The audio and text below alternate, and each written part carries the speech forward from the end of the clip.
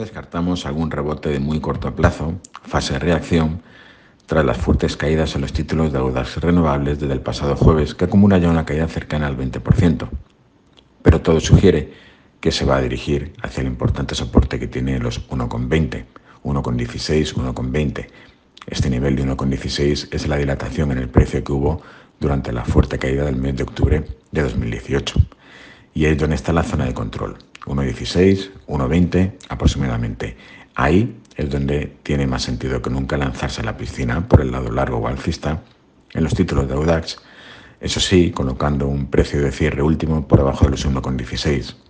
o lo que es lo mismo, en la medida en que no cierre por debajo, toda corrección acercamiento hacia la zona de los 1,20 debería ser entendido a priori como una clara oportunidad para intentarlo por el lado largo o alcista, aunque solo sea en concepto de trading, es decir, aunque solo sea en concepto de rebote.